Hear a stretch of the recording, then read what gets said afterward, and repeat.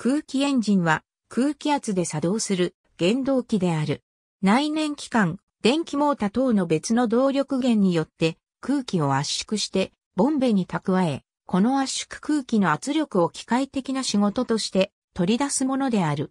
2世紀以上の歴史があり、小型の携帯型タービンから数百馬力以上のものまで広範囲に使用されている。いくつかの形式はピストンとシリンダー型でタービン式もある。ピストン式は低回転でのトルクが大きい。タービン式は高速回転に適している。大型の動力装置としての空気エンジンは空気の膨張時に周囲の熱を奪い凍結や出力低下の問題を起こすことから熱交換器を使って温める機構を持っていることが多い。排気が空気のみであるため鉱山等火気現金の場所や空気量の限られた内燃機関が使用できない場所などで使う目的で無化、機関車や魚雷などに用いられてきたが、現代では電気駆動の方がメリットが大きくなり使用されなくなった。なお、何らかの燃料を燃焼させて空気を温める一種のスターリングエンジンについては、熱空気機関という故障で別に扱われる。エアインパクトレンチインパクトレンチやドリル、歯科用ドリルや気圧式工具は空気エンジン、または空気モーターを使用する。欠点として高圧空気の排気による騒音が大きく、特に歯科用ドリルでは患者に不快感を与えることから使用されなくなってきている。初期の成功した自公式魚雷はほとんどが高圧空気を使用していたが、出力向上の限界に達し、内燃機関や電気モーターにとって変わられた。黎明期には圧縮空気を酸化剤にして燃料を燃焼させることで空気を高温することで圧力を上げて出力向上を図る内燃機関と空気エンジンのハイブリッドも作られた。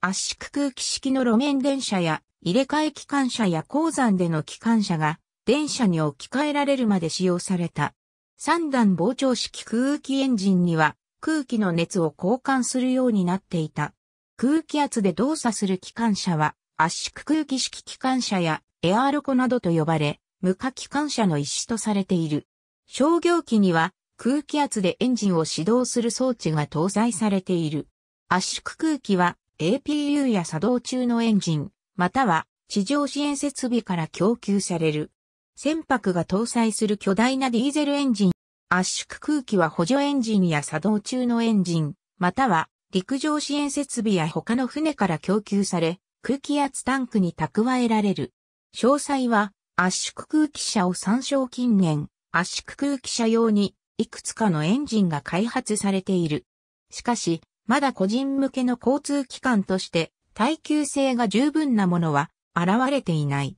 韓国の会社、エナージャイン社は圧縮空気式と電気エンジンを組み合わせたハイブリッドカーを供給する。圧縮空気エンジンで発電して自動車を走らせる。オーストラリアの会社、エンジンエアは圧縮空気式ロータリーエンジンを製造する。発明者のアングロ・ディ・ピエトロにちなんで、ディピエトロモーターと呼ばれるロータリーピストンを元にしている。小型船舶や自動車への使用を想定している。K エアモバイルズ社は圧縮空気エンジンで K エアーとして知られ、フランスの研究者の小グループが開発した。これらのエンジンは圧縮空気の消費が毎分120リットル以下であるが 4KN の押し当て力を生じる。K エアー空気エンジンの技術的な概念は空気の特性を引き出すことにある。ありがとうございます。